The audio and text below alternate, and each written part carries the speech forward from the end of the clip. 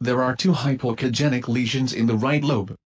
The more hypoechogenic lesion presents all three possible signs on which extrathyroidal extension can be suspected, that is the contours are abutting and bulging and the capsule of the lobe is not continuous.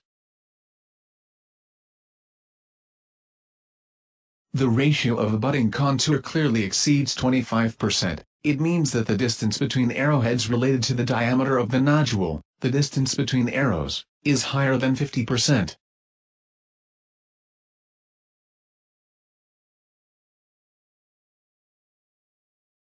The nodule presents bulging and the capsule is discontinuous. The vascularization of the lower nodule is increased,